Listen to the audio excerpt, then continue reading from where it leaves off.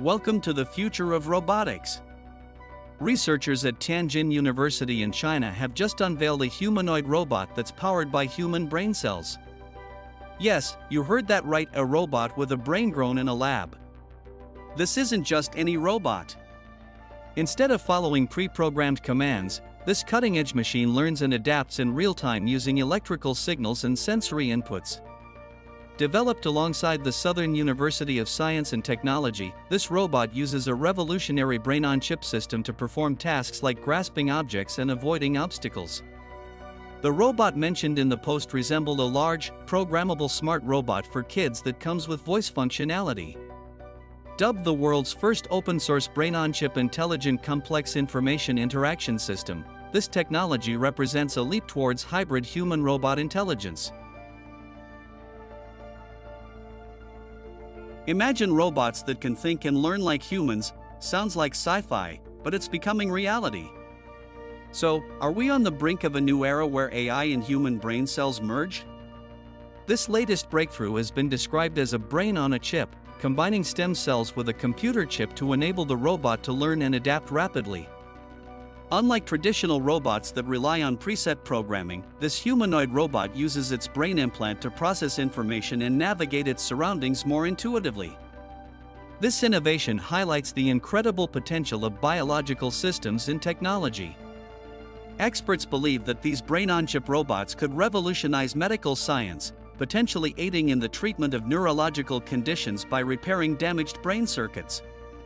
However, this advancement also brings ethical considerations, as the line between biological and artificial intelligence continues to blur.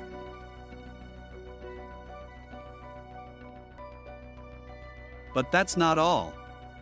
Just days ago, scientists in Japan made headlines by grafting living human skin onto a humanoid robot, giving it a more lifelike appearance.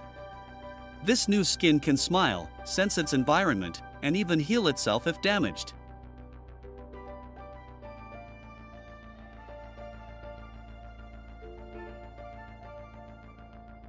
Scientists are developing new methods to make robots appear more human like by attaching lab grown skin. This breakthrough, pioneered at Tokyo University, involves using collagen coated robots with drilled holes, allowing the skin to adhere naturally and move realistically. The technology aims to bridge the uncanny valley, where robots appear unsettlingly non human, potentially leading to lifelike facial expressions. This research, featured in Cell Reports Physical Science, introduces skin that can self heal, raising questions about its future applications beyond robotics. Scientists at the University of Tokyo have also devised a method to effectively attach artificial skin to robot faces, maintaining mobility and enhancing the lifelike appearance of androids.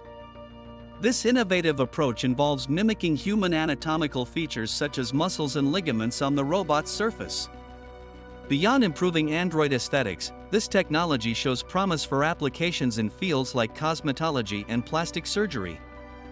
Using a human facial mold with perforations, researchers applied a gel made from collagen and dermal fibroblast cells, allowing it to permeate the perforations and securely adhere to the mold. This process resulted in a simplified version of human skin that can stretch into expressions like a smile when manipulated by connected rods, thus achieving a more natural appearance.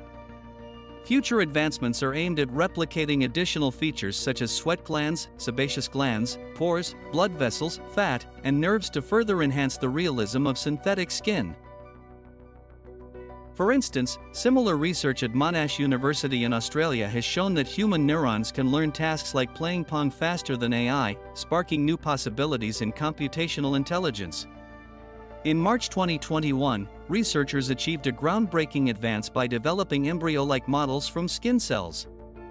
This international team, including experts from Monash University, has developed a technique that allows these skin cells to be reprogrammed into precursor like cells. These cells are then cultured to form structures resembling human embryos. This development could significantly impact treatments for infertility and genetic conditions such as cystic fibrosis by providing a new way to study human development and associated conditions. The models also offer insights into why some pregnancies end in miscarriage and how genetic diseases affect embryos. However, the creation of these artificial embryos raises ethical questions. The models do not develop beyond 10 to 11 days, and strict ethical guidelines are in place to prevent misuse. While the technology has great potential, it is unlikely to lead to the creation of fully artificial humans anytime soon due to the complexity of human development.